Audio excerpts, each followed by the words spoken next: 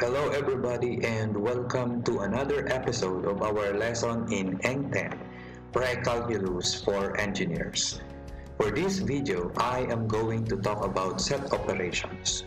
More particularly, we will be talking about uh, union and intersection of sets.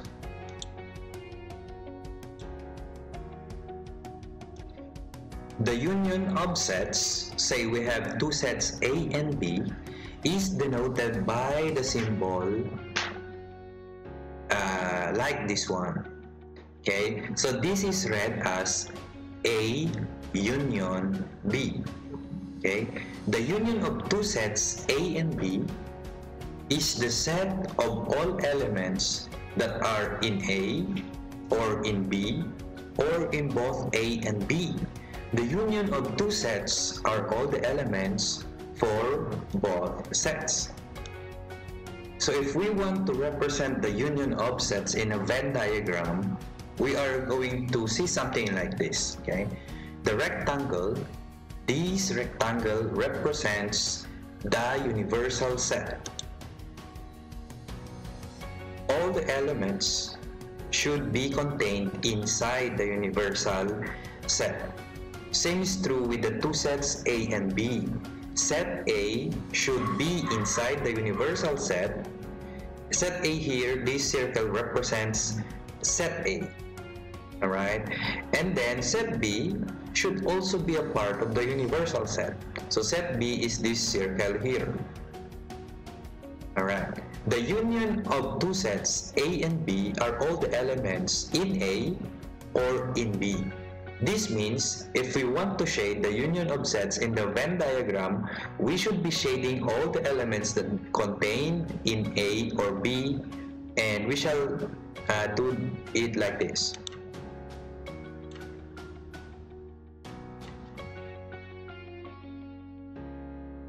So these are the elements in A, so we should shade this one.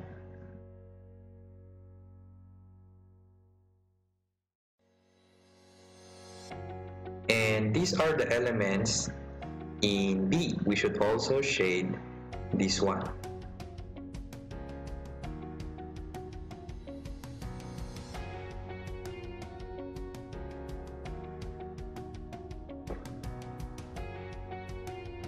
Now that is the union of sets A and B. It is the totality or the combination of sets A and B. On the other hand, the intersection of two sets A and B is denoted by the symbol. So this is read as A intersection B. Okay, so the intersection of two sets A and B is the set of all elements that is contained in both A and B. Okay, these are the elements that are in A as well as in B. Alright, these are the common elements of both sets A and B. So if we want to illustrate the intersection of two sets A and B in the Venn diagram, where should we shade? Remember, the intersection of two sets A and B are the elements that are common to both sets a and B. So, we should shade the region common to A and B. In this case, we are going to shade this part. This is the region that is common to sets A and B. So that is the intersection of sets A and B. To illustrate the union and intersection of sets further, let us answer this example. Suppose set A is equal to 2, 4, 6, 8, 10, 12. Set B is equal to 1, 4, 9, 16. And set C is equal to 10 and 2. Find the following. A, A union B B, A intersection B, C, B union C and D, B intersection C. Let us start with part A. A union B is the set of all elements that are both in A or in B. Okay, so to answer this one, A union B as part A.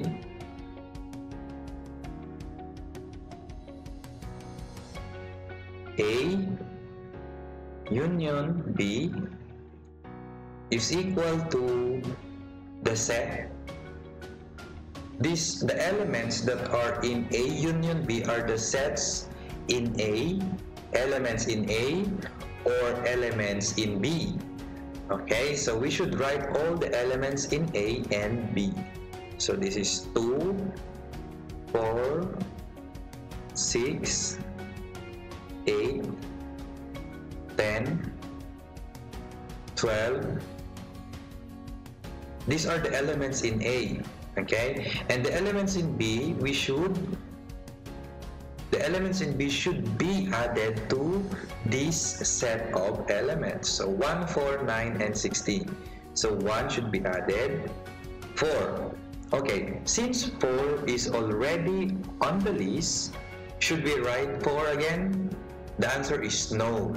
Okay, no duplication of elements. So since 4 is already here, we should not write it again. How about 9? 9 is, still not on the list, so we should write 9. And then 16. 16 is not on the list, so we should write 16. So this is now the union of set A and set B. Customarily, the, uh, the elements should be written in in order. Okay, so we can rewrite the sets to look it more uh, in standard form.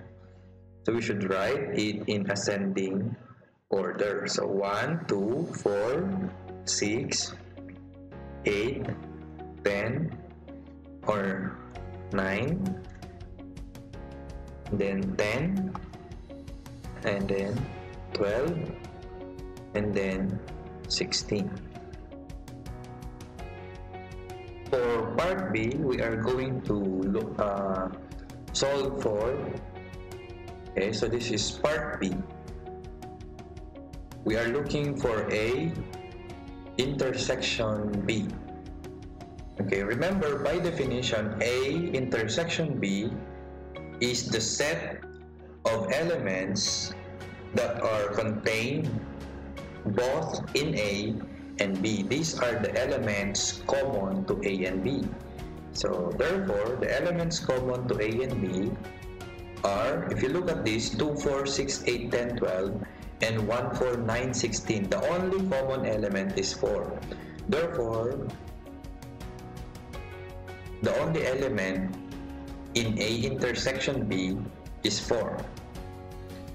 For part C, we are looking for the union of set B and set C.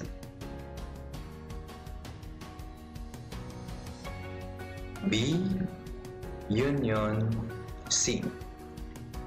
Okay, so these are the elements. If we combine set B and set C, we should list all the elements and there should be no duplication. Okay, so uh, let us write all the elements in set B and set C. So that's 1, 4, 9, 16 and then 2, 10. Alright, so let us write the elements in ascending order. So we have 1 and then 2 and then 4 and then 9 10 16 so these are the elements in B union C. For part D part D is B intersection C. So we should look for the common elements of set B and set C. Set B has elements 1, 4, 9, and 16. Set C has elements 2, 10. If you take a look at these two element, uh, two sets, there are no common elements. Therefore, there is no intersection. It is a null set. Okay, null set or empty set. Okay, the symbol for an empty set is the Greek letter phi. Okay, so this is a this one is a null set or sometimes called empty set. Okay, so remember in denoting for the null set or empty set, we are not writing the braces anymore. It's just simply phi. Okay.